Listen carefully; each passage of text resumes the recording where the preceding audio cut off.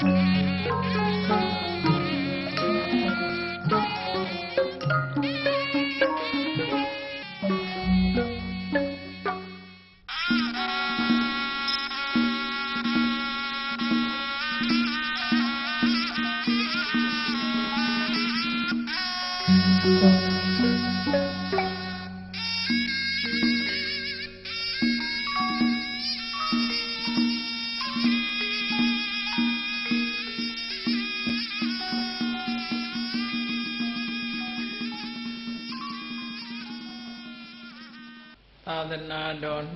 1555ခုနှစ်ကောဇာတက္ကရာ1383ခုနှစ်တော်သရင်လာပြီးကျော်ရှိရဲ့2011ခုနှစ်စက်တင်ဘာလ20ရက်ရန်ကုန်တိုင်းဒေသကြီးစမ်းချောင်းမြို့နယ်အောင်ချမ်းသာရပ်ကွက်သီရိမင်္ဂလာလမ်းကံမြင့်ကျောင်း၌ဓမ္မယုံတွင်ဆင်ကျင်းပပြုလုပ်အပ်သည့်ဓမ္မသဘင်အခမ်းအနား၌ အလုံမြို့နယ်အလုံလန်းနဲ့ကန္နာလန်တော့အောင်စီရကွန်ပလက်အခန်းတိုက်ပီတစ်အခန်း900နှစ်နှစ်ဖက်မိဘများကိုမူထား၍ဥညီညီတော်မြင့်မြင့်ခင်မိသားစုတို့ဤအဘဒဒါနဓမ္မဒါနအဖြစ်ဖြင့်ဟောကြားအပ်သောဆင်းရဲမွဲတေမှုလျောချရေးတရားဒေသနာတော် ဒီကနေ့ညတပါးသဘင်ခန္ဓာကိုရှင်ဘုန်းတော်သခင်ရှင်တော်မြတ်ဗျာဤမဟာကရုဏာကုံကိုအာယုပြုကတိကျုဖွဲ့ဆိုအပ်သောဝန္ဒနာပနာမအာတိတဂါထာကိုရွတ်ဆိုပူဇော်ခြင်းဖြင့်စတင်ကြရအောင်ယောကပကောတိဟိပိယပမေယံကာလံကရုဏောတိဒုက္ခရာနိ ခေရံကတောလောကဟိတယာနာထောနမောမဟာကာရုဏိကတတတ္တာယောနာထောဝိနိယမြာစွာတတ္တဝါဤချမ်းသာစီးပွားလိုလားတောင်းတဂုံပေါင်းခါသည်ဖြင့်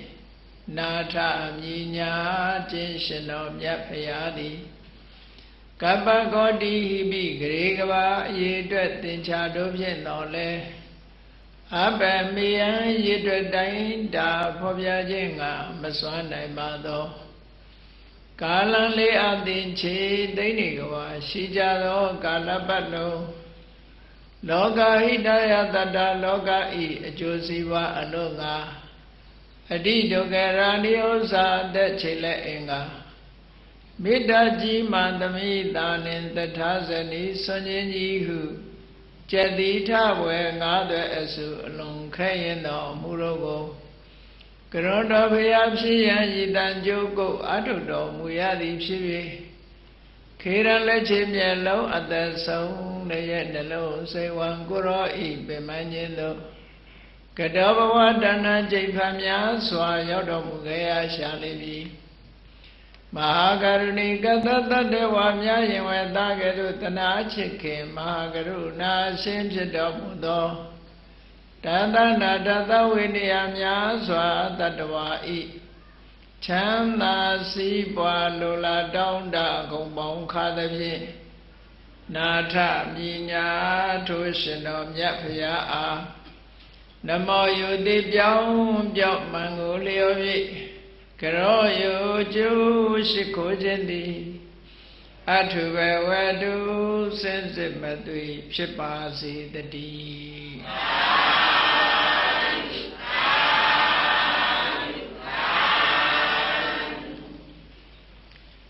ဆင်းရဲမွဲတေမှုလျောချရေးဆင်းရဲမွဲတေမှုလျောချရေး မြတ်စွာဘုရားဟောခဲ့တဲ့ဣနတုတ်တံဆိုတာရှိတယ်လွန်ခဲ့တဲ့နှစ်ပေါင်း2500ကျော်ကလေးကမြတ်စွာဘုရားကဆင်းရဲမွဲတေမှုများပြားလာလို့ရှိရင်မြည်လို့မှုမြည်ပုံဖြစ်လာတတ်တယ်လို့ဆိုတာလူတဘာဝလူလောကရဲ့တဘာဝနဲ့ဓမ္မရေးရာတဘာဝနှစ်ခုနှိုင်းရှင်ပြီးတော့ဟောထားတာဖြစ်တယ် ဒီကနေ့ခေတ်မှာလည်းတချို့နိုင်ငံတွေ poverty alleviation ဆိုတဲ့အသုံးလုံးနဲ့ poverty ဆိုတာဆင်းရဲမွဲတေမှုပဲ alleviation ဆိုတာရှော့ချတက်တာစေတာဆင်းရဲမွဲတေမှုကိုတက်တာအောင်လုပ်ပေးရဆင်းရဲမွဲတေမှုပပျောက်အောင်ဆောင်ရွက်တယ်ဆိုတဲ့အဓိပ္ပာယ်မျိုးပေါ့အဲ့တော့ ချမ်းသာကြွယ်ဝတဲ့နိုင်ငံတွေဟာလည်းပဲဆင်းရဲမွဲတေမှုတွေပပျောက်အောင်ကြိုးစားဆောင်ရွက်လာလို့ချမ်းသာတဲ့နိုင်ငံအဖြစ်ရောက်တာဒါလောကမှာဆောင်ရွက်တဲ့အနေအထားတစ်ခုပြောပြမြတ်စွာဘုရားကလည်းပဲလောကမှာဆောင်ရွက်တဲ့အနေအထားတစ်ခုမျက်မှောက်နဲ့တန်တရားနှစ်ဖြာလုံးကိုဆင်ញင်စဉ်းစားပြီးတော့ခြိဖို့လိုတယ် မျက်မှောက်ဘဝမှာဆင်းရဲမွဲတေမှုတွေများလာရင်ဘာတွေဖြစ်သလဲတန်တရားနဲ့ကြည့်လို့ဆင်းရဲမွဲတေမှုဆိုတာဘာတွေလဲအဲ့ဒါလို့ဆင်းရဲမွဲတေမှုတွေရှိလာလို့ရှင်ဘယ်အခြေအနေစိုက်တယ်လဲဆိုစိုက်ပုံစိုက်ခြင်းကထူးထူးပဲဟောလောကမှာလောကမှာပစ္စည်းဥစ္စာတွေရှားပါပြီးတော့မွဲတေလာလို့ရှင်လူလောကမှာပြဿနာမျိုးစုံတက်ပြီးတော့ဒုက္ခရောက်ရတယ်လို့ပဲ ဓမ္မရေးရနဲ့ပတ်သက်ပြီးတော့လည်းပဲဆင်းရဲမွဲတေမှုတွေများလာလို့ရှိရင်ဒီလိုဒုက္ခကြုံတာပဲ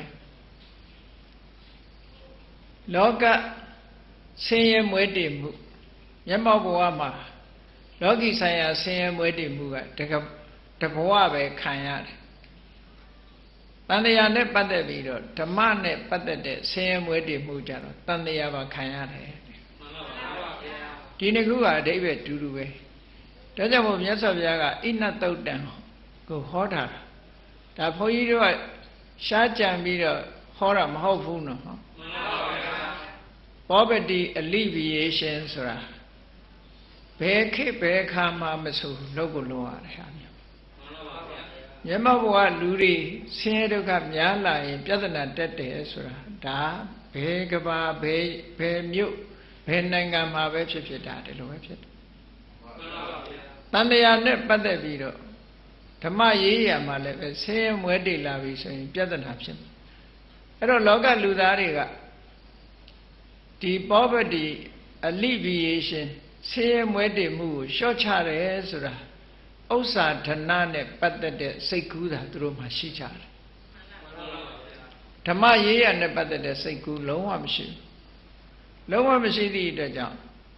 တန်တရားမှာဆင်းရဲမွဲတေမှုကိုလျှော့ချနိုင်စွမ်းမရှိကြဘူးတဲ့အဲ့ဒါကိုမြတ်စွာဘုရားကတန်တရားမှာပါဆင်းရဲမွဲတေမှုကိုလျှော့ချတဲ့ဤစနစ်တစ်ခုကိုဒီလိုဟောထားတယ်မလျှော့ချနိုင်ဘူးဆိုရင် ပြဿနာတက်လာပုံချင်းအတူတူပဲဘာမှမထူဘူးအဲ့ဒါကိုမြတ်စွာဘုရားရဟန်းတော်တွေကိုဟောထားခဲ့တဲ့တုတ်လေးဟာလွန်ခဲ့တဲ့နှစ်ပေါင်း2500ကဟောခဲ့ပေမဲ့လို့ဒီကလေးထီအောင်ခေတ်မီနေတော့မယ်မြတ်စွာဘုရားတရားတော်တွေက ဘာလို့ခေတ်မီတာတော့ဆိုလူတွေရှိရင်မှန်းနေမှာကိုလူလောကမှာလူတွေရှိနေသမျှကာလပတ်လုံးမြတ်စွာဘုရားတရားဟာလူသားတွေနဲ့အနိစ္စဆုံးလူတော်ဝါကိုဟောတာဖြစ်သည့်အတွက်ကြောင့်ဘုရားတရားတော်ဟာဘယ်တော့မှဒိတ်အောက်သွားတာမရှိဘူးအဲ့ဒါကြောင့်မို့လို့ဘယ်ခေတ်ဘယ်အခါကာလမှာပဲဖြစ်ဖြစ်ဒီအခြေအနေကြီးတစ်ခုဟာဒီတိုင်းပဲလာမယ်ဆိုတာမြတ်စွာဘုရားဟောတာ လောကမှာလူတွေအကျင့်စာရိတ္တပြက်လာတာနဲ့ပတ်သက်ပြီးတော့လေမြတ်စွာဘုရားသက္ကဝတိတုံမှာဟောထားတာဘုန်းကြီးတို့ယနေ့လူသားများရဲ့နက်ဖန်ကဘာဆိုပြီးတော့ဟောထားတာရှိတယ်ပေါ့ရှင်းလင်းပြီးတော့ဟောကြားထားတာယနေ့ခေတ်အခြေအနေတွေဟာနက်ဖန်ဘာတွေဖြစ်နိုင်လဲဆိုတာဒါမလွဲမသွေဒီဒါလို့ရင်ဒီလိုပဲလာမှာပဲဆိုတာအမတန်မှထင်ရှားတယ်ပေါ့အဲ့ဒီမှာလည်းပဲ ရာဇဝမှုတွေထူပြောလာခြင်းဟာမွဲတေခြင်းကစတာဆင်းရဲမွဲတေမှုကစတာအဲ့ဒီဆင်းရဲမွဲတေမှုကဘာကြောင့်ဖြစ်ရတာလဲဆိုတော့အတော့အံ့ဩစရာကောင်းတယ်တပြည့်အုပ်ချုပ်တဲ့မင်းတွေကဒဏငွေချေးမရှိတဲ့ပုဂ္ဂိုလ်ဒဏချေးငွေမရှိတဲ့ပုဂ္ဂိုလ်ဒဏချေးငွေထောက်ပံ့ပေးခြင်းဆိုတဲ့ဟာပြက်ပြက်ကွက်သွားလို့ဖြစ်သွားဒါသက္ကဝတိတုံမှာ အဒနာနံဒဏမနုပါတိတပံဆိုတာတပြည့်အုပ်ချုပ်တဲ့မင်းတွေကဒါဒီစည်းကမ်းကိုလိုက်နာစကြဝဠာမင်းတွေဆိုရင်ဒီစည်းကမ်းကိုလိုက်နာဘာလို့လို့ဆိုရင်ဆင်းရဲမွဲတည်မှုကိုထိန်းထားတာဆင်းရဲမွဲတေမှုစလာတာနဲ့တပြိုင်တည်းရာဇောမှုတိုးလာမှာပဲအဲ့တော့ဒီဆင်းရဲမွဲတေမှုမဖြစ်ရအောင်ဖြစ်လာပြီးမှဖြေရှင်းတာတဲ့မဖြစ်ရအောင်စတယ်ထိမ့်ပေးထား ပြောကြတာပဲလူတွေကမိဘေးရှောင်မလောင်ငင်တာဆိုသို့သောလောင်မကြီးပဲငြိမ့်နေကြအဲ့တော့ပြဿနာတစ်ခုဟာမဖြစ်ခင်ကပဲဖြစ်လာနိုင်တဲ့အနေအထားကိုကြည့်ပြီးတော့ဖြစ်မဲ့ဘက်ကိုမရောက်အောင်ကြိုးစားထားဖို့ဒီလိုဆိုလိုတာပေါ့နော်အဲ့ဒီမှာအတ္တနာနံဒနမနုပါတိတဗံဒနကျင်းငွေမလုံလောက်တဲ့ပုံကိုယ်တွေကိုဒနကျင်းငွေထောက်ပံ့ပေးရမယ်ဆိုတဲ့ ဒီစည်းကမ်းချက်ကိုတပြည့်အုပ်ချုပ်တဲ့မင်းကမလိုက်နာလိုက်တဲ့အခါဘာဖြစ်လာတော့ဆိုသူ့နိုင်ငံမှာ poverty ဆိုဆင်းရဲမွဲတေမှုတွေများထွက်လာအဲ့တော့အဲ့ဒီအကြောင်းတွေကိုသိကြလို့ရှိရင်ယနေ့လူသားများရဲ့နိဗ္ဗာန်ကဘာဆိုတဲ့တရားကိုနားကြည့်လိုက်အဲ့ဒီကနေပြီးတော့ဖြေလို့မရတော့နောက်မှဖြေလို့ရှိရင်သူကမရဘူးဘယ်ကိစ္စပဲဖြစ်ဖြစ်ပြဿနာတစ်ခုကနောက်မှလိုက်ရှင်းတယ်ဆိုဘယ်တော့မှမရနိုင် ဒီတစ်ခုရှင်းဟိုတစ်ခုထွက်လာဟိုတစ်ခုရှင်းဟိုတစ်ခုထွက်လာမှာပဲဒီတိုင်းပဲအစမထွက်အောင်ငကိုတဲ့ဟလှုပ်ထားကောက်ရိုးပင်ကောက်ရိုးကောက်ရိုးပုံကြီးကိုကြည့်လေတစားဆွဲရင်နောက်ကအစတွေထွက်နေမှာပဲတစားတဲ့ထွက်ပြီးတော့ရှင်းလို့ရမှမရတာလေဒီတစားဆွဲရင်နောက်ကလည်းတန်းလန်းဟိုကဆွဲလည်းတန်းလန်းတန်းလန်းတန်းလန်းဆိုတော့ကောက်ရိုးပုံကြီးဒါကုံသွားရောဒီတန်းလန်းပဲကုံမပဲအေးမှာပဲဆိုတဲ့ဟာမျိုးဖြစ်တယ်နော်အဲ့တော့ ပြဿနာဆိုတာမဖြစ်ခင်ဖြေရှင်းရတဲ့အရာတစ်ခုဖြစ်တယ်ပေါ့အဲ့တော့ဆင်းရဲမွေးတည်မှုကိုပါဠိလိုဓာလိဋ္ဌိယလို့ခေါ်တယ်ဓလိဋ္ဌဆိုတာလူမွဲဓလိဋ္ဌဆိုတာပစ္စည်းဥစ္စာမရှိဘူးစားစရာမရှိဘူးနေစရာမရှိဘူးအဲ့ဒီလိုပုံကမျိုးဓလိဋ္ဌအဲ့ဒီဓလိဋ္ဌရဲ့ဆင်းရဲမွဲတည်မှုကြတော့ဓာလိဋ္ဌိယလို့ခေါ်တယ်အဲ့ဒါဆင်းရဲမွဲတည်မှု ဥစ္စာမွဲမွဲဆင်းရဲသူအတ္တကကိုယ်ပိုင်ပစ္စည်းမရှိဘူးတဲ့ဘာမှမရှိဘူးမူးလို့တော့ရှူစရာမရှိဘူးလို့ဗမာတွေကပြောကြသေးတယ်နော်အဲ့တော့အဲ့လိုကိုယ်ပိုင်ဥစ္စာမရှိလို့ဆင်းရဲမွဲတည်တယ်အဲ့ဒီဆင်းရဲမွဲတည်တာလောကကြီးဖြစ်ပျက်ပုံလေးတစ်ခုကိုမြတ်စွာဘုရားဟောပြကဲတဲ့လောကမှာပစ္စည်းဥစ္စာမရှိလို့ဆင်းရဲမွဲတည်ပါပြီတဲ့ ဆင်းရဲမွဲတေမှုဖြစ်လာတဲ့ပုဂ္ဂိုလ်တယောက်ဘာလို့อ่ะဆင်းရဲတာစားစရာမရှိတောက်စရာမရှိဘူးဆိုတော့ရှိအောင်လုပ်ကြရတော့တာပေါ့နော်အဲ့ဒီပဲရိုးသားသားရှိအောင်လုပ်တဲ့ပုဂ္ဂိုလ်ကြတော့ဘာလုပ်လဲလို့ဆိုလို့ရှိရင်စားစရာမရှိကိုယ်ပတ်စံမရှိဘူးဆိုဘာလို့ချီးတာပေါ့ဟိုလူစီကချီးဒီလူစီကချီးအဲ့ဒါအစပဲနော်ပတ်စံမရှိဘူးဆိုဘာလို့ချီးကျွေးယူရတယ် ကျွေးကိုဣနလို့ခေါ်တယ်ကျွေးဆိုတာဣနအဲ့ဒီကျွေးယူလိုက်တယ်ဆိုကြတဲ့ကဒုက္ခကစပြီလို့သာမှတ်ပြီတော့နော်ဒါမြတ်စွာဘုရားကဒီတဘာဝကိုဟောတာဘုရားဟောတာကိုဘုန်းကြီးတို့ပြန်ဟောပြတာနော်မယုံလို့ရှိရင်အင်္ဂုတ္တရနိကေစက္ကနိဗ္ဗာဣနတုတ်ဆိုတာရှားပြီးတော့ဖတ်ချစ်အဲ့ဒီမှာမြတ်စွာဘုရားကဟောထားတာ ကြည့်ဘုရားပြောတဲ့စကားလုံးနဲ့ပြောရမယ်ဆိုရင်ဟောတဲ့စကားလုံးနဲ့ပြောရမယ်ဆိုရင်ဒါလိဋ္ဌိယံဒုက္ခံလောကတမိကာမဘောခိနောလူဘဝမိသားစုနဲ့နေပြီးတော့ကံကုန်အာယုန်နေနဲ့နေထိုင်တဲ့ပုဂ္ဂိုလ်အဖို့တဲ့မွဲတယ်ဆိုတာဆင်းရဲမွဲတည်တယ်ဆိုတာဒုက္ခကြီးပဲတဲ့ဒါအဲ့ဒါအဆင်မပြေတာ မိသားစုနဲ့နေပြီးတော့ငွေကြေးဒနာမလုံလောက်ဘူးဆင်းရဲမွဲတည်တယ်ဆိုတာဒါဒုက္ခကြီးပဲတဲ့မြတ်စွာဘုရားမဆင်းရဲဘူးလားတဲ့ယဟန်တွေကိုမေးတော့မမဆင်းရဲပါတယ်ဗျာလို့လျှောက်ကြတယ်ကဲအဲ့ဒါလို့ဆင်းရဲမွဲတည်တဲ့ပုဂ္ဂိုလ်ကဒီတိုင်းနေမလားမနေဘူးဘာလို့လဲသူများစီကနေငွေချေးရကျွေးယူရငွေချေးရင်လည်းချေးမယ်ဆန်ချေးရင်လည်းချေးမယ်ဒီပြင်ဟာချေးရင်လည်းချေးမယ် သူများစီကချေးငှားပြီးတော့ယူရတဲ့အနေအထားမျိုးဒါကိုဣနာဌာနလို့ခေါ်တယ်ချေးငှားပြီးတော့အသုံးပြုရတယ်နော်ပတ်စံမချေးရင်လည်းပဲပစ္စည်းချေးရမှာပဲပေါ့တခုခုချေးငှားတယ်ဆိုတဲ့ဟာလည်းပဲကျွေးယူရတယ်ဆိုကြတဲ့ကိုကဒါလည်းပဲဒုက္ခကြီးတစ်ခုပဲတဲ့ဣနာဒါနံပိဒုက္ခံကျွေးယူရတာဆိုတာလည်းဒုက္ခပဲ ဘာလို့လဲဆိုကျွေးကအိတ်နေတာမှမဟုတ်တာဘယ်သူကအလကားပေးမှာတော့ကျွေးဝီဆိုတဲ့ကသူ့ဘာလို့ရတော့အတိုးဘလောက်ပေးပါမယ်ဆိုတာကိုဝန်ခံချက်ပေးရတယ်တစ်ချိန်တုန်းကဗမာပြည်ကိုဗြိတိရှတွေအုပ်သွားတဲ့အချိန်တုန်းကဗမာလူမျိုးတွေအားလုံးကြားဖို့ကြပါလိမ့်မယ်နော်တောင်သူလယ်သမားတွေဆင်းရဲဒုက္ခတွေရောက်ပြီးတော့ချစ်တီးကလားရဲ့ နော်စာချုပ်အောင်မှာပြပြဝတ်ပြီးဒုက္ခတွေရောက်သွားကြတာလေအများကြီးပဲရှိတာဒါပုံမြင်နေမဟုတ်ဘူး true story တွေကျွေးတင်လာပြီဆိုလို့ရှိရင်ဒီပြဿနာဖြစ်လာမှာပဲဒါသိကြတယ်အဲ့တော့ကျွေးယူရတာလဲဒုက္ခကျွေးယူတဲ့အခါမှာကျွေးရှင်စီမြည်၍မြည်မြတ်တလားကိုဘလောက်ပေးပါမယ်အတိုးဘလောက်ဆက်ပါမယ်ဆိုတဲ့ဝန်ခံကတိပေးရတယ်စာချုပ်ချုပ်ရ အလကားဘယ်သူမှမပေးဘူးစာချုပ်နဲ့ချုပ်ရအဲ့ဒါလို့အတိုးကိုဝန်ခံရတာဟာလည်းပဲဒါလည်းဒုက္ခကြီးတစ်ခုပဲပြဿနာကြီးတစ်ခုစိတ်ညစ်စရာကြီးပေါ့စိတ်ဆင်းရဲစရာကြီးလို့ဒီလိုဆိုလို့တယ်အဲ့ဒီအတိုးပေးရတာကိုဝဋ္ဌိလို့စာထဲမှာတောင်းဟုတ်တိပိဒုက္ခနော် ငွေကြေးချင်းကားပြီးတော့အတိုးပေးရခြင်းအတိုးကိုဝန်ခံရခြင်းဆိုတာလည်းပဲအတော်ကိုစိတ်ညစ်เสียကောင်းတဲ့အရာကြီးတစ်ခုပဲတဲ့ကဲသူများเสียငွေချေးပြီးတော့အတိုးအာမခံထားတဲ့တစ်လပြည့်ရင်ဘလောက်ဆက်ပါမယ်နှစ်လပြည့်ရင်ဘလောက်ဆက်ပါမယ်တစ်နှစ်ဆိုရင်ဘလောက်ဆက်ပါမယ်အခုခေတ်ဆိုရင်လည်းဘန်ဒိုးတို့ဘာဒိုးတို့ညာဒိုးတို့ပြည့်နေတာနော်အဲ့ထဲမှာလောဘကြီးတဲ့လူကအမလေး စုချေးဆိုပြီးသွားလောက်တာကုံရောရှိသမျှအတိုးလေးမက်ပြီးတော့သွားလောက်လိုက်တာပါသွားတာဒါမျိုးတွေကရှိတယ်နော်မကြားခြင်းအဆုံးပဲဘုန်းကြီးတို့တွေဒီ story ပြောရမယ်ဆိုရင်တော့လင်းကားဆိုင်ကူရှိတယ်ခေါင်းထဲမှာအခုလောလောဆယ်ကိုဖြစ်နေတာတွေရှိတယ်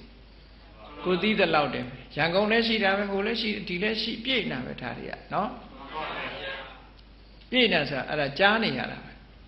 ဘုန်းကြီးတွေဆိုတော့လူစုံနေလူစုံတဲ့အခါဟိုလူကပြောသွားလိုက်ဒီလူကပြောသွားလိုက်ပိဋကသုံးပုံနဲ့ကြည့်စရာတော့မလိုဘူးခါလေကျတော့တရင်အမတန်မှစုံမီဒီယာပါဇက်ပေါက်တွေအများအဲ့တော့တရင်စုံကုန်ကြ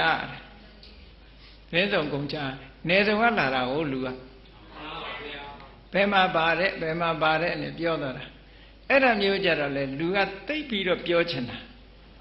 မပြောရဘူးဆိုတော့ထီးလေးဆောင်းပြီးတော့မိုးရွာတာတောင်လဲပြီးတော့ပြောချင်သေးတာနော်လူကဝါသနာပါတာအဲ့ဒါကိုသိတဲ့သတင်းလေးကိုသွားပြောချင်တာသိဝါသနာပါတယ်ဒါမို့အခမဲ့မီဒီယာတွေအများကြီးပဲရှိတယ်ရေဒီယိုသတင်းစာလို့တော့မလို့ဒီလိုအရာသတင်းတွေနဲ့အကုန်သိတယ်နော်သတင်းစာများသည်တမိုင်းကိုပြောနေကြသည်လို့သာပြောတာမှန်မှန်ကန်ကန်ပြောချင်မှပြောတာတခါတလေကြတာ မှန်မှန်ကန်ကန်ပြောတာလူပစကပြောတယ်တခါတလေကြအဲတခါတော့ကတမိုင်းဆရာကြီးတယောက်ကပြောတယ်လေ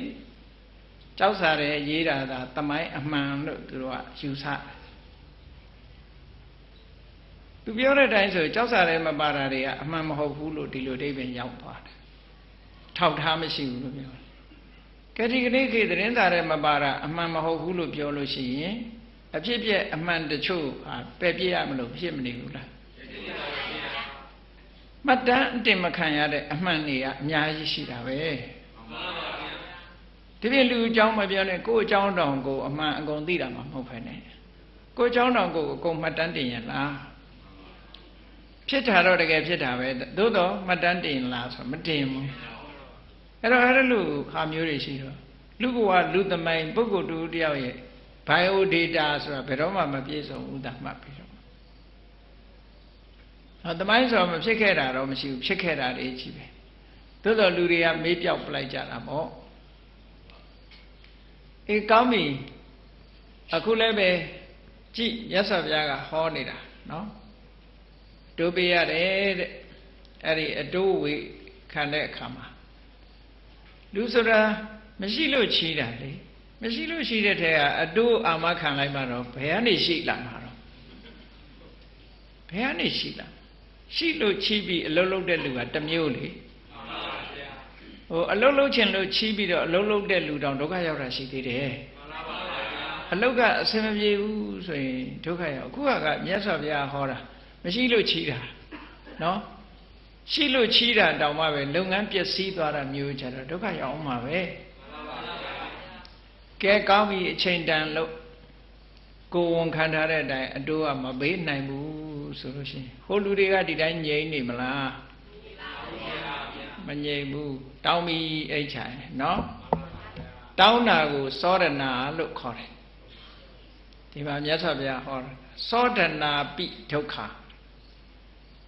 လူတယောက်ဟာဒီကျွေးတောင်းခံရတယ်ဆိုလဲအတော်ကြောက်စရာကောင်းတယ်စိတ်ညစ်စရာကောင်းတဲ့အရာတစ်ခုပဲ ငယ်ငယ်တုန်းကအင်္ဂလိပ်လိုရေးထားတဲ့ story လေးတစ်ခုဖတ်ဖို့တယ်အဲ့ဒီငွေချေးစားတဲ့တလားတယောက်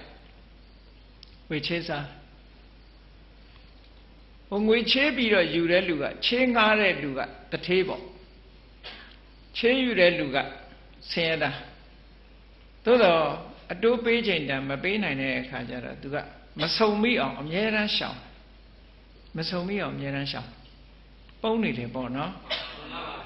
ဒီအိမ်ရှိကဝင်လာတာမြင်တာနဲ့အနောက်ဘောက်ကထွက်သွားလစ်သွားမရှိဘူးပြောတယ်ဒီလိုပဲဒီလိုပဲရှောင်းရှောင်းထွက်ပြေးတယ်တရက်ကြတော့အဲ့ဒီငွေချီးတဲ့တထေကမြင်းကြီးစီးပြီးတော့လာတာဆင်းလာတော့လမ်းစုံမှာသွားပြီးတော့ဆုံမိတယ်ဟိုလူကလည်းသူ့စီကငွေချေးထားတဲ့လူကလည်းဆုံတော့ပက်ပင်းမှသွားတူတာအဲ့ဒီမှာ ဒုက္ခရောက်လိုက်ပုံတော့ပက်ပေးမှသွားတူတယ်တူတဲ့အခါကျတော့ဟိုကောင်လည်းညံကောင်းတယ်ညံကောင်းတယ်သူကဘယ်လိုလုပ်တုံဆိုလို့ရှင်အောင်မလေးတထေးမင်းရဲ့မြင်းကြီးကချောလိုက်တာတထေးမင်းနဲ့မြင်းနဲ့တအားလိုက်တာပဲနဲ့ဆိုဟိုကောင်ကကော့သွားတာခါလေးကော့ပြီးတော့မင်းငါမြင်းစီးတာမြင်ကျင်လားကွာဆိုကြာဖို့နဲ့ရိုက်ပြီးရှုံရှုံနဲ့ပြေးအဲ့ဒီမှာသူလွတ်သွားလူကလည်းအတူတူပဲလေဟို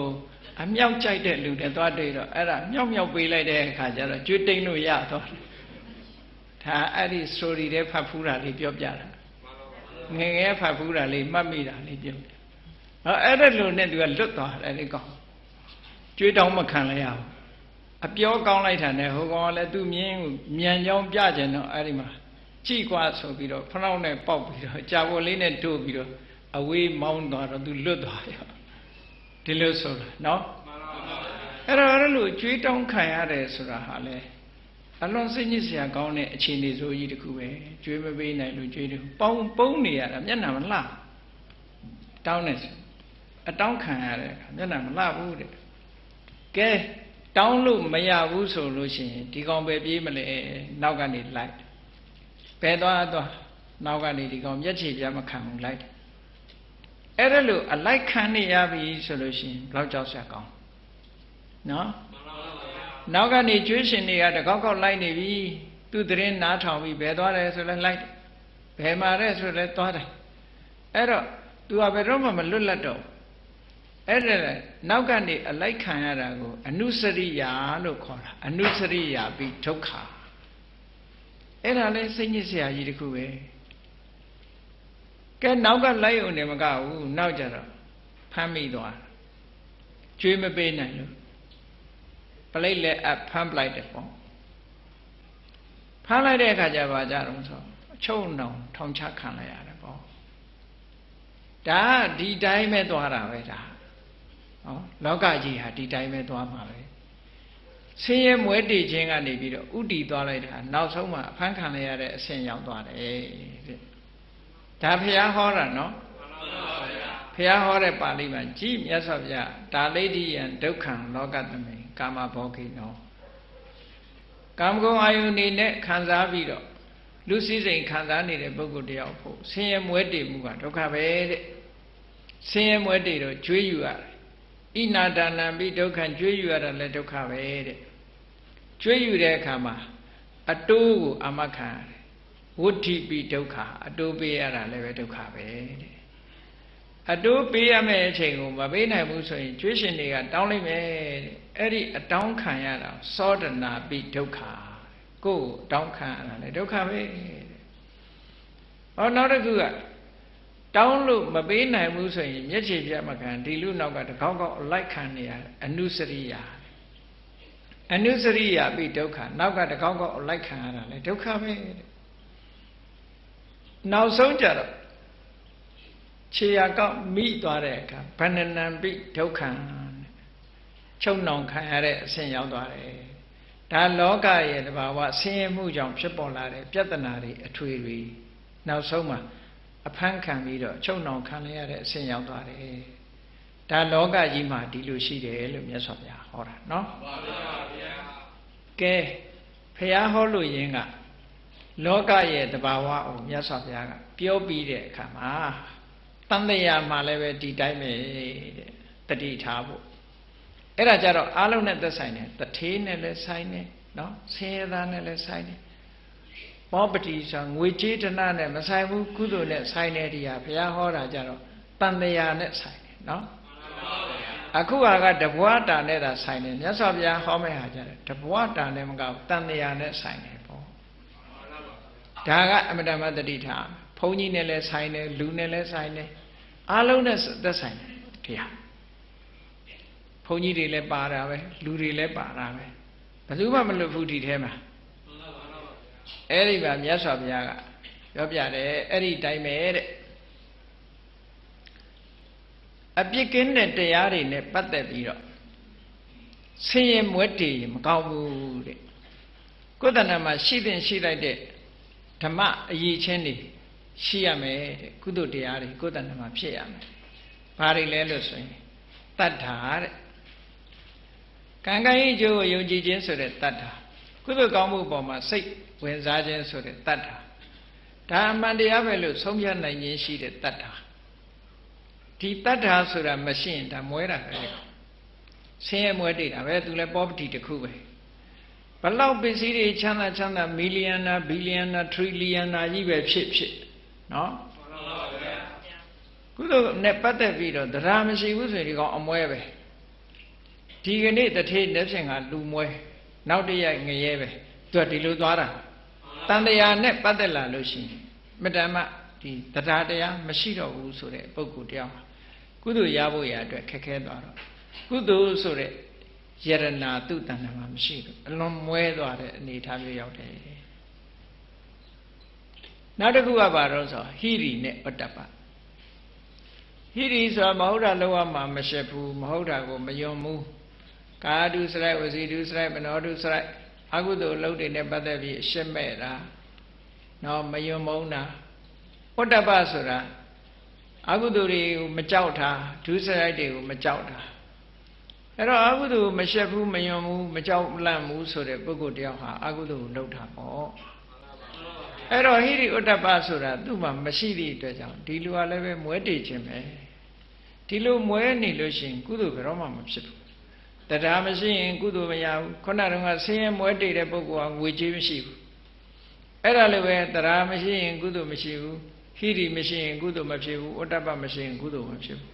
မဖြစ်ရင်မွဲတာ ဘာမွဲတာတော့ကုသိုလ်တရားမွဲတာကောင်းကျိုးချမ်းသာကိုပေးစွမ်းနိုင်တဲ့ကုသိုလ်ဆိုတဲ့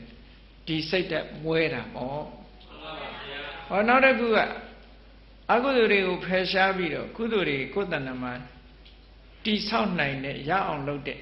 ဝိရိယဆိုတာသူ့မှာမရှိမရှိသည့်အတွက်ကြောင့်ကုသိုလ်မရမရတော့သူလည်းမွဲတာပဲဒါလည်းဟောနောက်တစ်ခုကပညာပညာဆိုတဲ့အသိပညာမရှိသည့်အတွက်ကြောင့် ကုသိုလ်ရအောင်မလုပ်နိုင်ဘူးမလုပ်နိုင်သည့်အတွက်ကြောင့်အဲ့ဒီပုဂ္ဂိုလ်ကုသိုလ်မရတော့မွဲပြန်တာပဲပေါ့မှန်ပါဗျာအေးဒါကြောင့်မလို့ကုသိုလ်နဲ့ပတ်သက်တဲ့အရေးကြီးတဲ့တတ္တာဟိရိဥတ္တပဝီရိယပညာတဲ့အဲ့ဒီတရားတွေဟာတမပတ္တိတုတ်ကြတော့မြတ်စွာဘုရားဟောတာအကုသိုလ်ကိုတားတဲ့တဘာဝတရားတွေပဲအကုသိုလ်ကိုတားတယ်ဆိုတဲ့ကုသိုလ်ဖြစ်စေတတ်တဲ့တရားတွေလို့ဒီလိုဆိုလို့တယ်မှန်ပါဗျာ ဒီတရားတွေမရှိလို့ရှိရင်ဒီပုဂ္ဂိုလ်ဟာကုသိုလ်ဆိုတဲ့ယရနာတွေမရပိုက်ဆံမရှိရင်စားစရာမရှိဘူးဟုတ်ကလားဆင်းရဲမွဲတေပြီဆိုရင်စားစရာမရှိဘူးဝတ်စရာမရှိဘူးနေစရာမရှိဘူး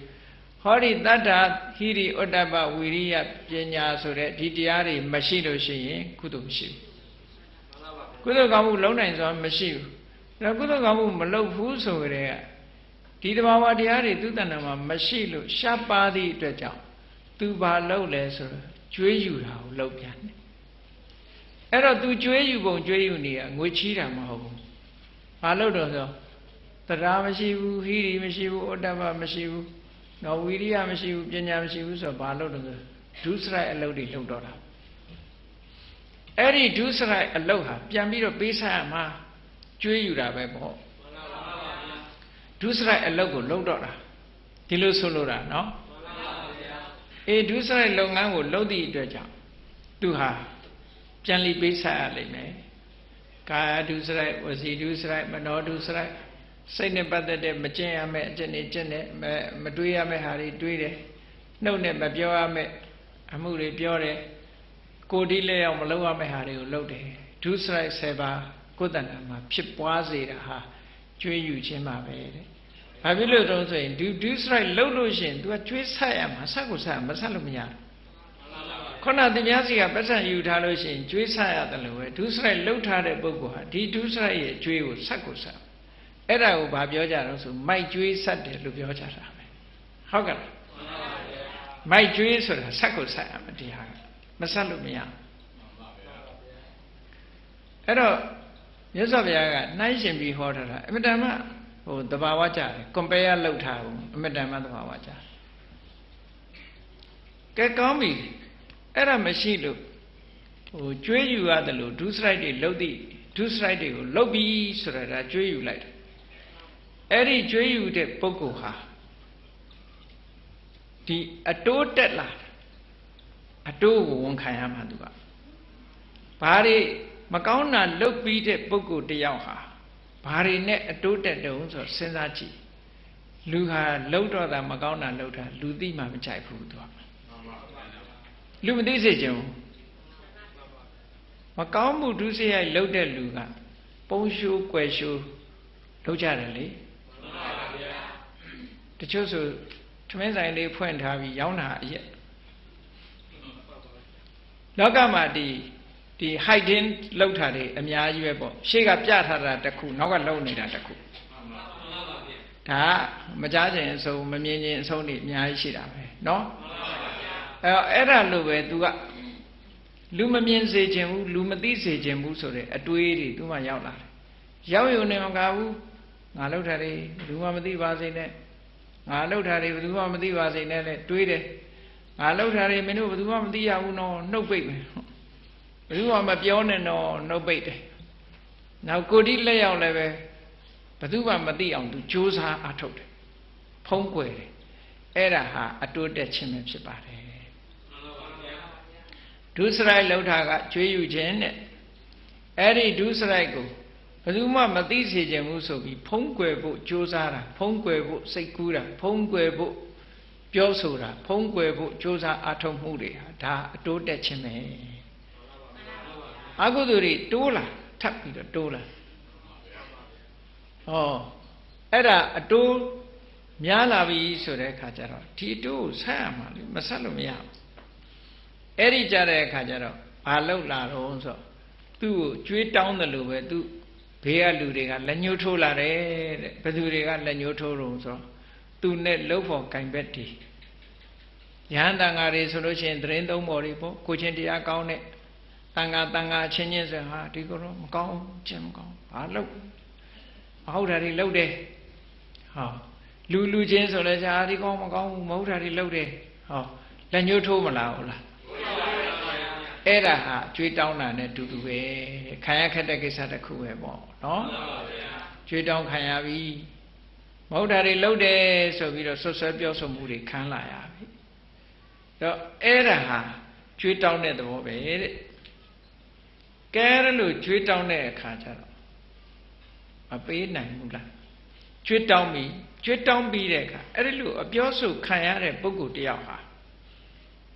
စဉ်းစားကြည့်ပေါ့လူတကာကလက်ညှိုးထိုးပြီးတော့မကောင်းဘူးလို့ပြောခံရတဲ့ပုဂ္ဂိုလ်တယောက်ဟာသူ့ဘယ်နေရာမှာနေနေတပင်ရင်အောင်မှာပဲနေနေတယောက်တည်းအခန်းထဲမှာပဲနေနေနေတဲ့အခါဘာဖြစ်တုံးဆိုရင်နှစ်ဖူးလေးနှစ်ဖူးပေါ်လက်တင်ပြီးတော့ ညအိပ်ရဝင်လို့တွေးလိုက်တာနဲ့တပြိုင်တည်းဓာရီပဲပေါ်နေတယ်နော်မကောင်းတဲ့အတွေးတွေကြီးပဲပြန်ပေါ်လာတယ်သူလှုပ်ထားတာမဟုတ်တာတွေကြီးပဲပြန်ပေါ်နေတယ်အဲ့ဒါလို့ပြန်ပေါ်နေတာဟာသူ့ကိုနောက်ကနေအလိုက်ခံနေရတာပဲရှောင်ပြေးလို့မရဘူးသူလှုပ်တာသူသိတယ်ဘေးကနေငါပြောကုန်ပြီအားလုံးကငါသိနေကြပြီနှစ်ယောက်တိုးတိုးပြောတယ်နဲ့ငါပြောပြီဆိုတာသူကထင်တော့တာပဲလေ ဘယ်သူမှမယုံတော့ဘူးအဲ့လူကအဲ့တော့ဒီအတွေးတွေကသူ့ကိုပြန်နှိမ့်ဆက်အတွေးတွေကနှိမ့်ဆက်လူတွေသူ့အကြောင်းသူပြောပေမဲ့လို့သူတို့တခြားအကြောင်းပြောပေမဲ့လို့ဟာငါအကြောင်းပြောနေတယ်အဲ့ဒါနဲ့စိတ်ဒုက္ခတွေမရောက်ဘူးလားရောက်ပါဘူးအဲ့ဒါလို့စိတ်ဒုက္ခတွေရောက်ပြီးတော့အတွေးတွေကကိုယ့်ကိုလွှမ်းမိုးပြီးတော့နှိမ့်ဆက်ခံနေရတာဟာအနုစရိယာတဲ့အလိုက်ခံနေရတာ ਨੇ တူတူပဲပုံနေရတယ်လို့ပဲခေါဏကကျွေးရှင်တွေကိုပုံရတယ်လို့ပဲ သူလည်းပဲအဲ့ဒါလို့ဒီအတွေးတွေကသူ့ခေါင်းထဲမှာဝင်ရောက်နေတော့ညာလဲအိတ်ကောင်းခြင်းမအိတ်ရနော်တယောက်တည်းနေလာပြီးဒါတွေကအကုန်လုံးခေါင်းထဲဝင်လာကုန်ပြီဟောဒီလိုတွေဖြစ်လာကျွေးလာတောင်းနေတဲ့ပုံစံမျိုးလို့ဒုက္ခတွေရောက်ကုန်ပြီဟောနောက်ဆုံးကြတော့ဘာဖြစ်လဲလို့ဆိုအဲ့ဒီလိုအလိုက်ခံရပြီးတဲ့အခါမှာ သူဟာချုပ်နှောင်ခြင်းကိုခံရတယ်ဆိုတာဘယ်လိုဟာကိုပြောတာတုံးဆိုအဲ့ဒီစိတ်တွေနဲ့မကောင်းတဲ့အတွေးတွေကြောက်ကြောက်လန့်လန့်နဲ့ကိုယ်ပြောဆိုခံရတာတွေမဟုတ်တာတွေအဲ့ဒီအတွေးတွေနဲ့နောက်ဆုံးမှာဘဝတစ်ခုဆုံးတတ်သွားပြီဆိုတဲ့အခါမှာဒီဘဝလည်းလွန်မြောက်သေသည်ချမ်းမဲ့ရောက်ထန်တဲ့တပြိုင်နဲ့ဘယ်ရောက်သွားတော့ငရဲကျသွားတယ်တိရစ္ဆာန်ဖြစ်သွားတယ် ဟောငရဲကျသွားတယ်ဆိုတာငရဲကနေဖမ်းချုပ်လိုက်တဲ့အဓိပ္ပာယ်ပဲတိရစ္ဆာန်ဖြစ်သွားတယ်ဆိုတာလည်းဖမ်းချုပ်ခံလိုက်ရတာပဲဘာတွေအတွက်ဆုံးရှုံးသွားတော့ဆိုငရဲဘဝငရဲကြနေတာတို့တိရစ္ဆာန်ဖြစ်နေတာတို့ဟာကြည့်နိဗ္ဗာန်ရဖို့ကြိုးစားဖို့ဖြစ်နိုင်မှာတော့မလားမဖြစ်နိုင်တော့ဘူးဘာမှကောင်းတာဆိုတော့လုံးလို့မရတော့ဘူးအဲ့တော့ထောင်သွင်းကျင်းချထားတာလည်းဘာမှထူးဘာမှမထူးဒီလိုဆိုလို့တယ်နော် ငရဲဘဝဆိုတဲ့ချုပ်နှောင်မှုနဲ့သူ့ကိုချုပ်နှောင်ပလိုက်တယ်တရိษံဘဝအဓိကုသောချုပ်နှောင်မှုနဲ့သူ့ကိုချုပ်နှောင်ထားလိုက်တယ်ဆိုတော့လောကမှာဖျားပွင့်လဲသူတရားမနာရတော့သွားရဖျားပွင့်လဲတရားမနာရဘူးဖျားသာသနာထွန်းကားလဲသူ့အတွက်ဘာမှအကျိုးမရှိတော့ဘူးမြတ်စွာဘုရားဓမ္မစကြာဟောတယ်အနတ္တလက္ခဏာတုတ်ကိုဟောတယ်ထူထူတုတ်တန်ကြီးဟောတယ်ငရဲကြနေတယ်နာလည်းမနာလည်းရ တိရစ္ဆာန်ဖြစ်နေတယ်ဘာမှမသိလိုက်ရဟောချုံနှောင်ခံထားရတာ ਨੇ တူတူပဲလေအဲချုံနှောင်ခံထားရတဲ့လူကပွဲရှိလေကြည်ရတာမှမဟုတ်ပဲပြောစရာရောသူ့မှာရှိလို့လားမရှိပါဘူးဘာမှမရှိတော့ခွင့်ရေးတွေအလုံးဆုံးရှုံးသွားတယ်ဒီလိုဆွလို့တာအဲ့တော့တန်တရားမှာငရဲဘဝနဲ့အချုံနှောင်ခံရရတယ်တရိษံဘဝနဲ့ချုံနှောင်ထားခြင်းကိုခံရရတယ်ဆိုဘလောက်နစ်နာလဲ ခုနကထောင်သွင်းအချင်းချတာမှလွတ်ရရှိသေးတယ်နော်မှန်ပါဗျာအဲငရဲတို့တရိษံတို့ဆိုတာလွတ်ရကအမတမဝေးတယ်ပေါ့တန်တရားထဲမှာအဲ့ဒါလိုချုံနှောင်ခံထားလိုက်ရလို့ရှိရင်ဒုက္ခတွေကိုရောက်တယ်ဒါမြတ်စွာဘုရားကနှိုင်းရှင်ပြီးတော့ဒီလိုခေါ်တာအဲ့ဒါလို့ချုံနှောင်ခံထားရတဲ့ခံထားရမှုဟာတဲ့တန်တရားဝကလွတ်မြောက်မှုဆိုတဲ့အနုတ္တရဝိမောက္ခတန်တရားဝကလွတ်မြောက်စေတတ်တဲ့ ဘက်ဖို့နိဗ္ဗာန်ရဖို့အတွက်အလွန်ကိုခက်ခဲတဲ့အနေအထားတစ်ခုရောက်သွားပါတယ်တဲ့ဒီတဲ့ကြီးမားတဲ့ချုံနှောင်မှုဆိုတာလောကမှာမရှိဘူးတဲ့အဆိုးဆုံးချုံနှောင်ခြင်းကိုခံရတယ်လို့ဒီလိုဆိုတာနော်မှန်ပါဗျာငရဲဘဝဆိုတာကြည့်လေပိတ်ပိတ်ပိန်ပဲဘာမှမသိတော့တရိစ္ဆာန်ဘဝလည်းကြည့်ဘာမှမသိတော့လူတွေကကျွဲပါစောင်းတီးတယ်အမလေးကျွဲရမှာစောင်းတီးရင်ပြုံးညင်ပြုံးအောင်ပါနော် ဘာမှမသိဘူးတရိစ္ဆာန်ဘဝရောက်သွားပြီဆိုလို့ရှိရင်အကောင်းဆုံးဘာမှမသိတော့တဲ့အနေအထားမျိုးအဲ့တော့မေဖို့နိဗ္ဗာန်ဆိုတာဝေလာဝေးဝိပဿနာတန်ဆိုတာလည်းကြားတော့မကြားဘူးဘုရားတရားတန်ခါဆိုတာလည်းကြားဘူးမှာမဟုတ်ဘူးအဲ့ဒါလောက်ထိအောင်ဒီအခွင့်အရေးတွေဒါဆုံးရှုံးသွားနိုင်တယ်ဒါကြောင့်မို့လို့ဆင်းရဲမွဲတည်ခြင်းဆိုတာမဖြစ်စေရဘူးဘယ်ဘက်ကပဲဖြစ်ဖြစ်ဆင်းရဲမွဲတည် မြတ်စွာဘုရားဆိုလိုတာကဥစ္စာဒနာဆင်းရဲမွဲတည်မှုဟာတဘဝသာခံရတယ်အဲ့ဒါလည်းဖြည့်ရှင်းလို့မရတာမဟုတ်ဘူးဖြည့်ရှင်းလို့ရနိုင်တယ်အခုကုသိုလ်ရေးနဲ့ပတ်သက်တဲ့တတ္တာဟိရိဩတ္တပဝိရိယပညာလို့ဆိုတဲ့ကုသိုလ်တွေနဲ့ပတ်သက်လာတဲ့ဒီမွဲတေမှုကပို့ပြီးတော့အရေးကြီးတယ် serious လို့ပြောတာတကယ့်ကိုအရေးပါတဲ့အရာတစ်ခုဖြစ်တယ်မှန်ပါပါဗျာဒါကြောင့်မို့ဘုန်းကြီးတို့တွေအခုလိုသာသနာတော်နဲ့ကြုံတွေ့နေတဲ့အချိန်မှာ ကုသနာမှာကုသိုလ်တရားနဲ့ပတ်သက်ပြီးတော့တရားတရားဆိုတာလည်းရှိဖို့လိုအပ်တယ်ဟိရိဆိုတာရှိရမယ်ဩတ္တပဆိုတာရှိရမယ်ဝီရိယဆိုတာရှိရမယ်ပညာဆိုတာရှိရမယ်ဒါတွေမရှိဘူးဆိုရင်ကုသိုလ်ဆိုတာမလာနိုင်ဘူးတဲ့မြတ်စွာဘုရားကတမပတ္တိတုံးမှာဆိုရင်ဘလို့ဟောထားတော့ဆိုလို့ရှိရင်အေးတရားတရားရှိနေသမျှကာလပတ်လုံးအကုသိုလ်ဆိုတာမဖြစ်ဘူးတဲ့ ဟင်တရားတရားရှိနေသမျှကာလပတ်လုံးအကုသိုလ်မဖြစ်ဘူး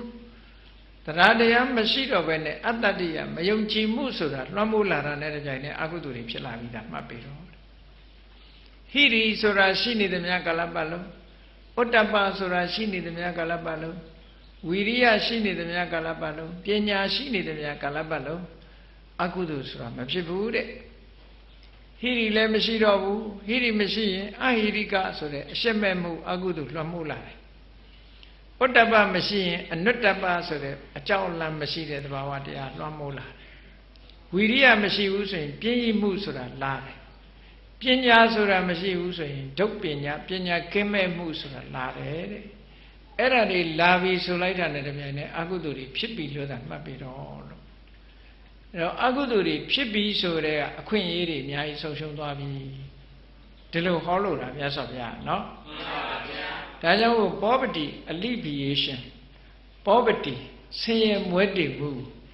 ဒီ short ချဆင်းရဲမွဲတေမှုရော့ပါအောင်ဆောင်ရွက်အဲ့တော့ဘုန်းကြီးတို့တွေတဘာဝ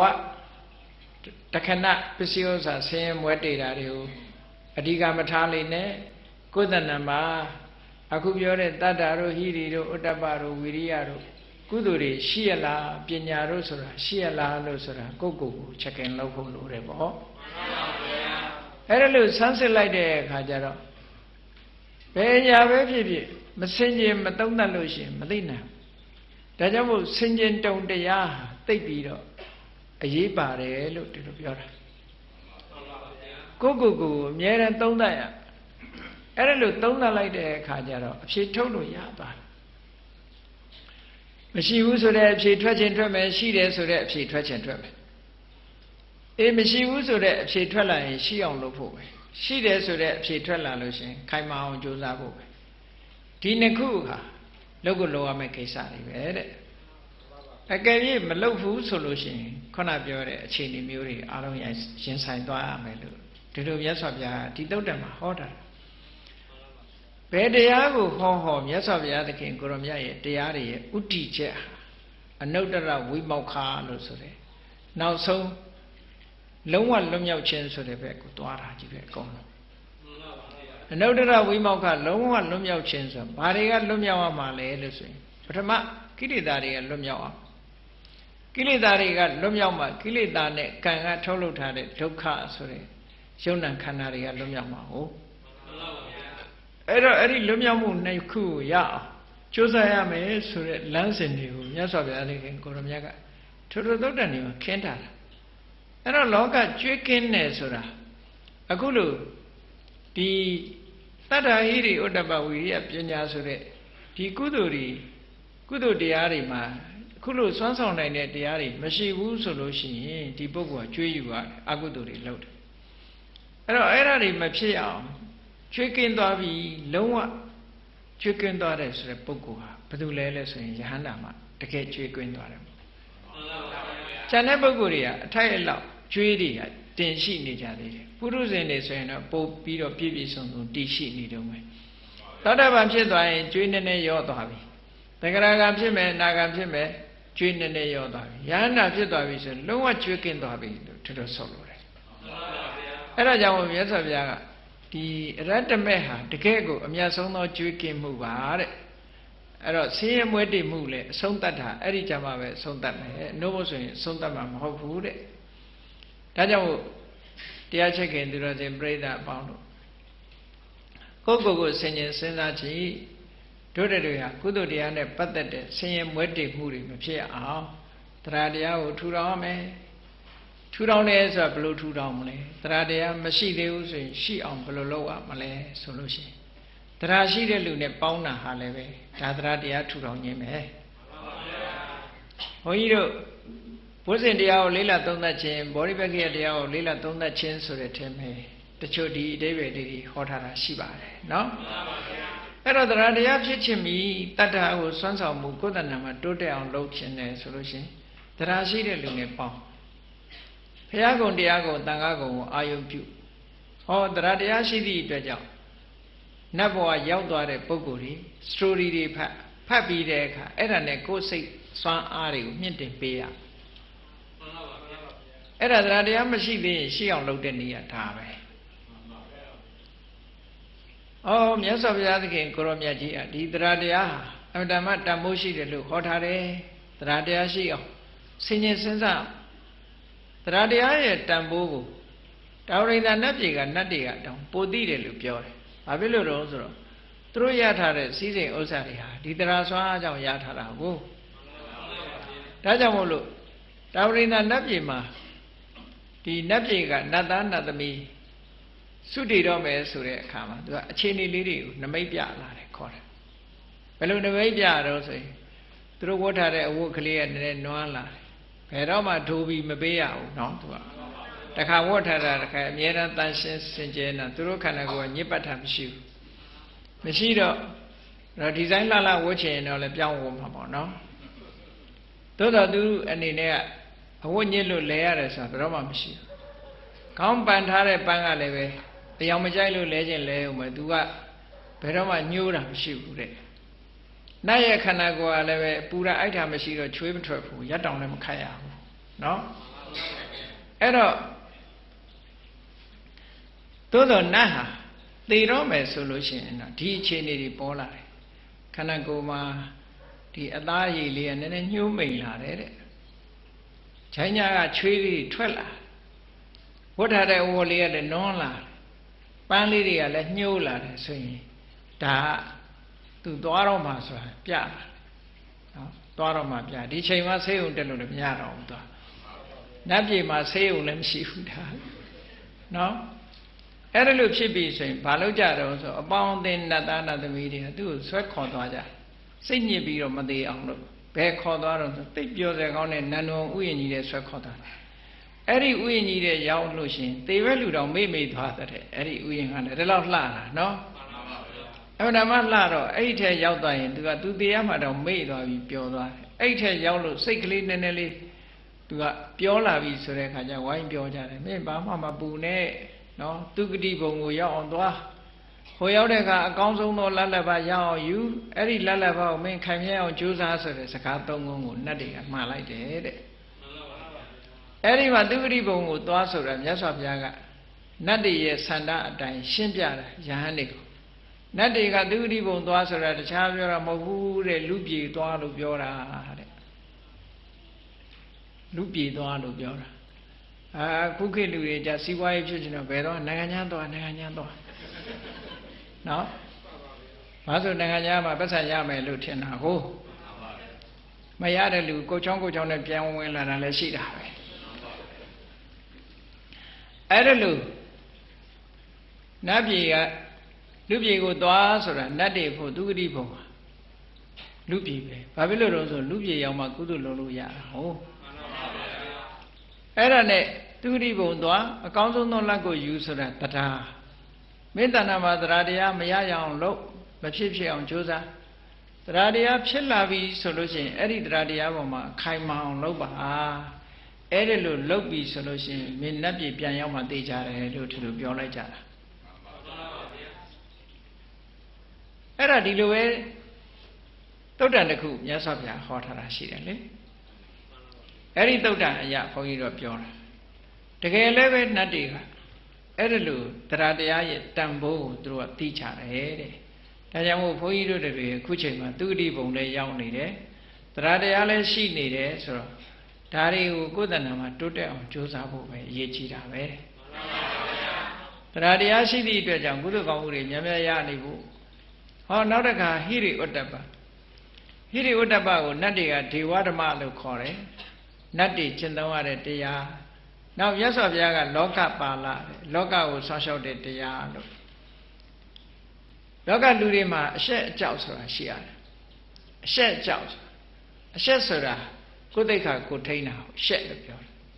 အကြောက်ဆိုတာပတ်ဝန်းကျင်ကိုလေးစားတာဒီလိုဆိုလို့တယ်နော် အဲခုခေတ်ကလူတွေကတော့အရှက်ဆိုတာ no နော်အရှက်ဆိုတာ no ဟောအကြောက်ဆိုတာကြတော့ I don't care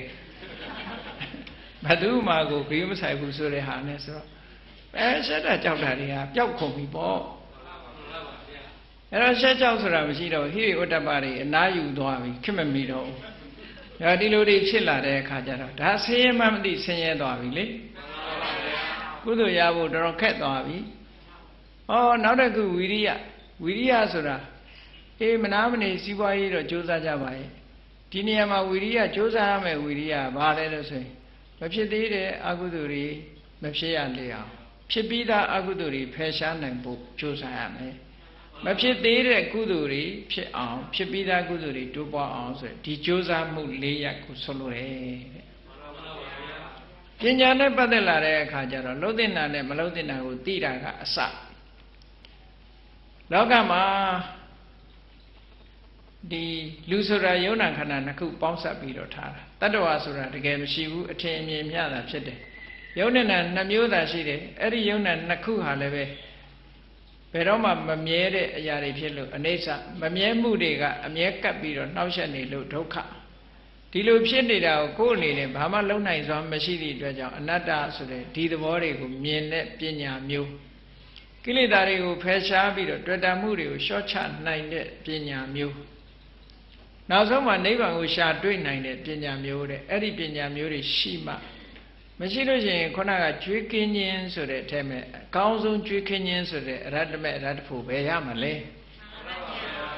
အဲ့တော့အကောင်းဆုံးဖြစ်တဲ့ကျွေးကင်းခြင်းလို့ဆိုတဲ့အရတ္တမဲ့အရတ္တဖို့ရဖို့ရအတွက်ဘုန်းကြီးတို့တွေကဒီပညာဆိုတာရှိဖို့လိုအပ်တာပေါ့ အဲ့ဒါကြောင့်မို့မြတ်စွာဘုရားရဲ့ဒီဥတည်ချက်ကုသိုလ်တရားတွေ၌ပညာလို့ဆိုဒီမှာအဆင့်ဆင့်အဆင့်ဆင့်သွားမှာလှုပ်တဲ့နာမလှုပ်တဲ့နာအခြေခံပညာလုံးတင်တာနဲ့မလုံးတင်တာကိုခွဲခြားသိတာအခြေခံပညာအဲ့ဒီကနေတဆင့်တက်သွားတဲ့ယုံနဲ့နံကိုသိတယ်။အော်ယုံနဲ့နံရဲ့သဘာဝကိုသိတယ်။နောက်ပြီးတော့ယုံနဲ့နံမမြဲတဲ့အနိစ္စဒုက္ခအနတ္တကိုသိတယ်။အဲ့ဒီကနေတဆင့်တက်ပြီးတော့နောက်ဆုံးမှာနိဗ္ဗာန်ကိုမြင်တယ်ဆိုတဲ့ပညာထိအောင် ကိလေသာတွေကိုဖယ်ရှားပြီးတော့နိဗ္ဗာန်ကိုတွေ့နိုင်တဲ့ပညာမျိုးထိအောင်ရမှနောက်ဆုံးရတ္တမေဆိုတာကိုရပြီဆိုတဲ့အခါကျရင်ဒီကြမှာကျွေးဆိုတာလုံးဝကင်းသွားပြီအဲ့ဒီကြွေးကင်းတဲ့အဆင့်ထိအောင်ဘုန်းကြီးတို့တွေကြိုးစားအထောက်ကြမှာအဲ့ဒီကြွေးမကင်းမဲနဲ့ခொနလို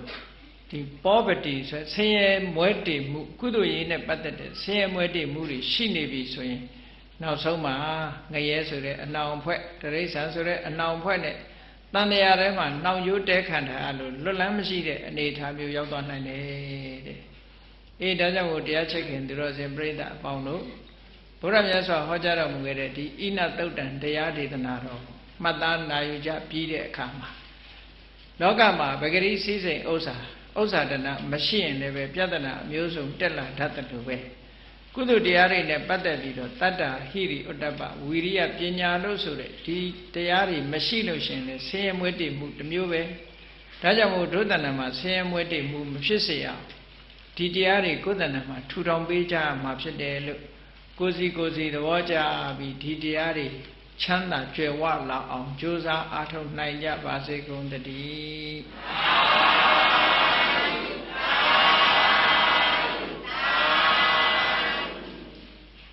ကဲမေတ္တာပို့ရအောင်တတ္တဝါများစွာတတ္တဝါများစွာဖေးရန်กว่าဖေးရန်กว่าချမ်းသာကြပါစေချမ်းသာကြပါစေတတ္တဝါများစွာတတ္တဝါများစွာဘေးရန်กว่าဘေးရန်กว่าချမ်းသာကြပါစေချမ်းသာကြပါစေမေတ္တာရေချမ်းမေတ္တာရေချမ်းသုံးငါဖြံသုံးငါဖြံငြိ မ်းချမ်းကြပါစေငြိမ်းချမ်းကြပါစေမေတ္တာရေချမ်းမေတ္တာရေချမ်းဖြံငြိမ်းချမ်းကြပါစေသက်ရှိချမ်းမာစိတ်ချမ်းသာတို့ရဆန္ဒပြည့်ပါစေသက်ရှိချမ်းမာ စိတ်ချမ်းသာတို့ရဆန္ဒပြည့်ပါစေဖုံလန္တာဒုက္ခပင်ကစားမေတ္တာပုံနေတုသင်္ကမာမနောတရာတိတဝေတံပဝါယန္တုဒုက္ခန္တကာမေတ္တာပုံနေတုသင်္ကမာစုပေါင်းပုအပ်မေတ္တာတဟုရောင်ဖြူပါဝင်းငွေလာမင်းနှင့်ရောင်ချင်းရှဲယုံပေါင်းဆောင်ရခြင်းကြောင့် တဝေတံကျွမဲ့ဥတုံလုံးစုံများစွာတတ္တဝါတို့၏မနောတရတိမြင်များဖြူစင်အေးကြည်လင်သည့်ရေစဉ်ပြည့်တင်စိတ်နှလုံးတည်ဟုသောရေအိုင်ကြီးအတွင်၌ဒုက္ခပင်သာစင်ထာဝရအညจิตာတာယာပွင့်လန်းချမ်းသာဒုက္ခတည်ဟုသောကုမုဒ္ဒရာကြာပန်တို့သည်ဖုံးလန်းတဝန္တာရွှေမျိုးဝမုံလူလျက်ကြည်နူးဝဲကြုံဖူးပွဲညကုန်သည်ဖြစ်၍ ဒုက္ခနကလျောင်းလေးတဲ့ရောချက်သင်ပြန့်ပိတိတိဟုသောယနံတို့သည်ဘဝယန္တုကောင်းစွာမဲ့သွေကြိုင်လိုက်၍နေကြပါစေကုန်တည်း